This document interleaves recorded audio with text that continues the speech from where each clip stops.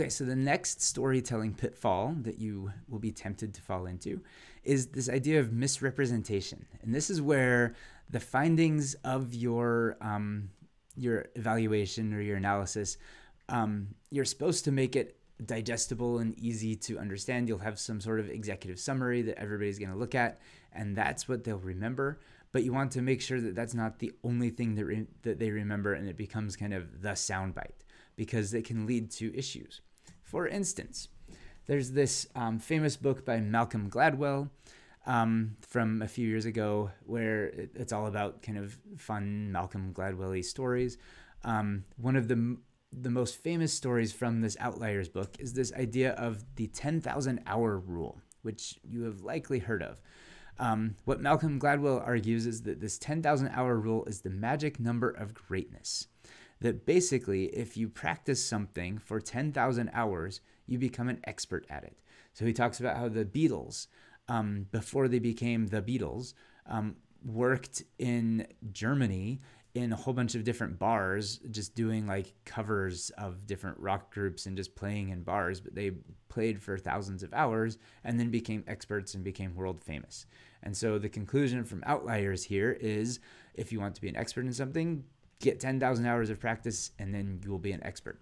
Um, everybody loves this 10,000 hour rule because it's easy to remember. It's kind of this magical thing. You can say, I'm going to, um, I want to learn how to golf, so I'm going to golf for 10,000 hours and then I'll be the next Tiger Woods or whatever. Um, and that sounds neat and, and, great. It fits in a podcast, fun.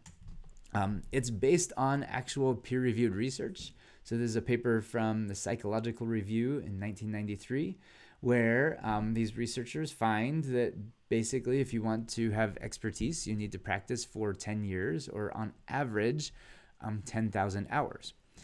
But that was not their actual real life finding. That was kind of a finding in there, but it was wildly misinterpreted by Gladwell and others as kind of this universal 10,000 hour rule. And so what they find, what they've had to do later in the years since this 10,000 hour rule is taken off is they've had to publish a whole bunch of stuff saying, no, stop, this is not actually a thing. Um, where they say, like, um, there's this simplistic view of our work on the internet that suggests anyone who has accumulated some number of hours in practice becomes an expert and a champion. But that is not actually the case. Um, so, what they find instead, and what they keep trying to argue, is that that is not true. Um, what is actually true is that 10,000 is an average, which means for some people, you could practice for 2,000 hours. Some people could practice for 30,000 hours, and then it becomes, um, then they become an expert. The quality of the practice matters. Um, if you're just kind of plinking away at a piano for 15 minutes a day, um, and then add that up to 10,000 hours, that's not actually going to make you a concert pianist. Um, you have to have high quality, focused practicing, and not just uh, not just get a whole bunch of time under your belt. That doesn't work. Um, and then finally, there are other factors um, such as talent. Um, and it's not just like plinking away. You have to have some proclivity towards sportsy things. Um, for instance, um, I stink at basketball. If I go and practice basketball for 10,000 hours, I will not be the next LeBron James. Does not work like that. Um, I lack a whole bunch of other things, other factors beyond just the number of hours spent shooting a basketball into a hoop. It doesn't work like that. Um, but it's been very popular to think about this 10,000 hour rule.